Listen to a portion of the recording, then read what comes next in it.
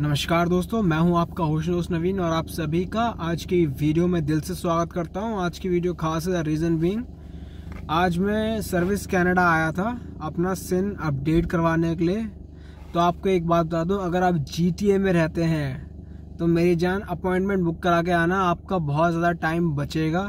क्योंकि मुझे ढाई घंटा लग गया सिर्फ़ एक सिन अपडेट करवाने के लिए। भाई, बहुत लाइन लगती है। जीटीए के मैंने दो तीन बार तो जा चुका था सर्विस कैनेडा मैंने अपडेट नहीं करवाया। हर बार हमेशा लंबी लाइन लगी रहती थी। मैं सोचा नई लाइन नई लाइन बट आज मैंने दिल मार के अपना, मैंने वेट किया और ढाई घंटे लगा मुझे सिर्फ़ सिन अपडेट करवाने में।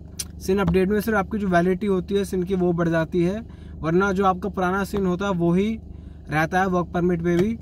उसमें कुछ चेंजेस नहीं आते तो सिन नंबर मेरा सेम ही है। बट मेरी वैलिडिटी जो है सिन की वो बढ़ चुकी है। अब वो वैलिडिटी जब तक आपका वर्क परमिट एक्सपायर होगा, तब तक उसकी सिम की वैलिडिटी होती है तो उसके लिए टेंशन लेना मत। बट ये कहूँगा, अगर आप जी जैसे एरिया में रहते हैं भीड़ भाड़ वाले इलाके में रहते हैं तो अपॉइंटमेंट लेकर आना, क्योंकि अपॉइंटमेंट वालों के सिर्फ़ तीन बंदे थे, और जो बिना अपॉइंटमेंट के आए थे, उनकी इतनी लंबी लाइन लगी हुई थी, और भाई ढाई घंटा लग गया, सिर्फ़ वेट करते करते परेशान हो जाएगा बेमतलब टाइम वेस्ट होगा, क्योंकि यहाँ पर जो सर्विसेज़ है यार, देखो यहाँ पर सारा काम फ्री होता है। मैंने आज तक जितने भी काम कराया है, एक रुपया खर्च नहीं किया है। जो कोई चार्ज होगा गवर्नमेंट चार्ज होता है, वो पे करना पड़ता है। सीन अपडेट का कोई चार्ज नहीं है। फ्री का काम था, बस अपडेट करवाना था। वो करवाना भी ज़रूरी था, क्योंकि मेरा सिन एक्सपायर हो रहा था। शायद अगर आपका भी एक्सपायर हो अपडेट करवा लें। पेमेंट तो कुछ है नहीं बट वो टाइम वेस्ट होगा तो टाइम भी नहीं वेस्ट करना चाहते हैं।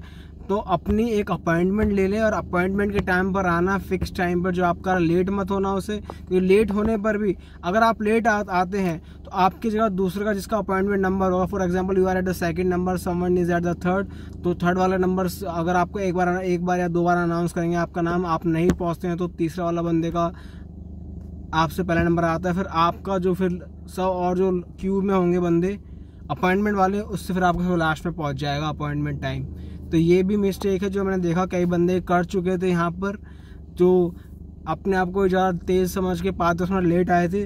तो उनका नंबर जो सबसे लास्ट वाले, अब जो क्यू में था, उसके बाद आया even though they had the appointment और जिसके पास अपॉइंटमेंट नहीं है, भाई, वो तो लाइन लगेगा देसी बंदे की तरह। लाइन में वेट करो लाइन लग के पहले वेलकम काउंटर पे आओगे, अपने बारे में बताओगे, वो आपको पहले ऐसा डॉक्यूमेंट चेक करेगा। फिर आपको दोबारा लाइन के लिए पर्ची या नंबर के हिसाब से बिठा दिया जाता है। फिर आप बैठे बैठे वेट करते रहो, आपका कोई नाम अनाउंस करेगा, तब जाके आप अपना सिन अपडेट करवा पाएँगे। तो ऐसी गलतियों से बचना मेरी जान कि जहाँ आपको अपना टाइम वेस्ट करना पड़े, ढाई घंटा मेरे थोड़ा हार्ड हो गया बैठा बैठा बोर हो गया था यार। एंड मैं जिस कम्युनिटी में रहता हूँ, वहाँ सारी चाइनीज़ कम्युनिटी है, अभी मैं जिस कम्युनिटी में रहता हूँ तो भाई मैं बात भी नहीं कर पा रहा था किसी से किसी से हेलो हाई भी नहीं, सारे आसपास और they're speaking in their own language तो भाई अपने से तो कम्युनिकेशन भी नहीं हो पाया तो बस बैठे बैठे बोर हो गए। और मैं गाने भी सुन नहीं पा रहा था क्योंकि भाई वो नाम लेकर अनाउंस कर रहे थे। देख, कभी भी आपका नाम आ रहा और अगर मैंने मिस कर दिया, फिर तो भाई फिर मेरा भी नंबर लास्ट में पहुँच जाएगा और मैं वो भी नहीं कर सकता था तो ऑलरेडी ढाई घंटा वेट करना पड़ गया। तो होपफुली अगर आप अपना सीन अपडेट करवाने आते हैं और स्पेशली जी एरिया में रहते हैं, जहाँ आपका भीड़ भड़ाका वाला इलाका है तो प्लीज़ अपॉइंटमेंट के साथ जाइए, आपका टाइम बचेगा।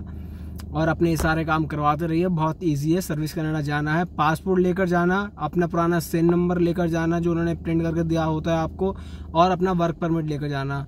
जब भी आपको सिन अपडेट करवाने से तीन चीज़ होता है work permit passport and your old SIN number these three things are required and you are good to go आपका अपडेट ऑन द स्पॉट हो जाएगा।